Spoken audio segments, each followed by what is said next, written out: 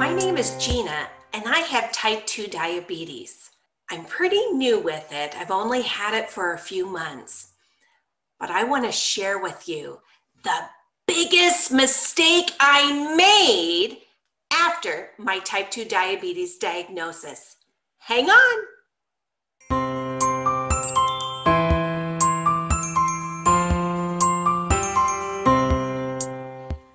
When I got diagnosed with type 2 diabetes, my doctor prescribed metformin.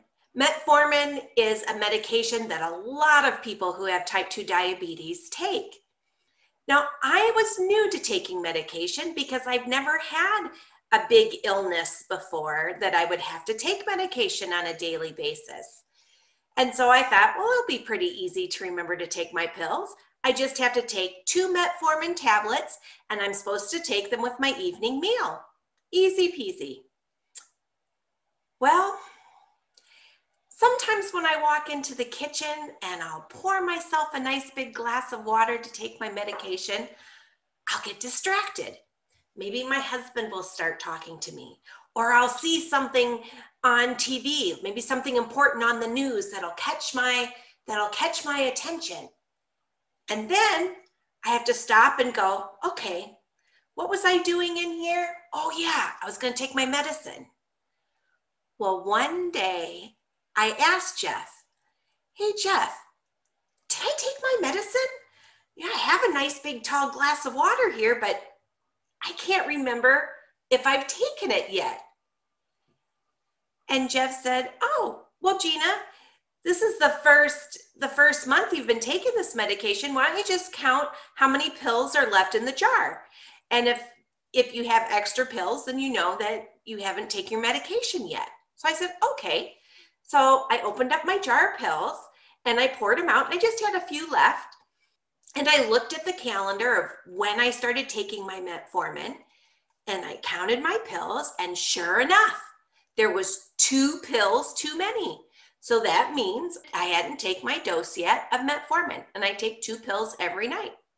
So I took two pills. The next day, I when I woke up first thing in the morning, I went into my anchor room here and I went to check my email and I sneezed. And when I sneezed, thank God I was home I did more than just sneeze. And I ran to the bathroom. And I want to tell you, I went to the bathroom so many times that morning. I could have had a colonoscopy for lunch and I would have been totally cleaned out. And that's when I discovered that I'd probably forgotten to take my metformin times, not just once, but twice. So when I took those two 750 milligram metformin tablets the night before, I probably had taken really four metformins. So, any of you that are new to diabetes or you've had type 2 diabetes for a long time, you know, that one of the things that can happen when you first start with metformin is it might give you really soft stools. But if you accidentally take double the amount of metformin at one time, you're going to have some problems. To remedy this mistake, I highly recommend, especially for those of us who are younger and think, oh, only grandmas and grandpas use pill packs. Well, you know what? Everybody should use a pill pack if you have to take medication every day. So that way you don't make that mistake again. Because I tell you, it was a very painful mistake. And I was very blessed I was home that day, or really would have been a rotten, rotten experience. And you can get these little um, Monday through Sunday uh, pill packs, you can get them anywhere. You can get them at the drugstore, you can get them at grocery stores. They have them all over the place. I bet you can get really pretty ones online. but I highly recommend, even if there's just one tablet you have to take once a day, get one of these. And so that way, if you walk into the kitchen and you poured your glass of water and you get distracted, you'll know, hey, did I take my medication or not? And you can look.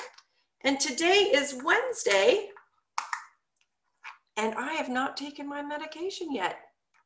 So there you have it. So that is my first piece of important advice. Don't make the same mistake I made. Don't accidentally take your medication twice.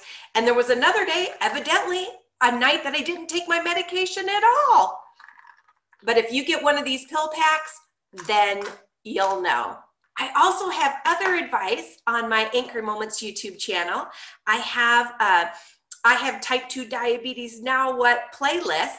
And if you're new to type 2 diabetes, you can feel kind of alone. So I don't want anyone else to have that feeling. I know I felt that way when I first got my diagnosis.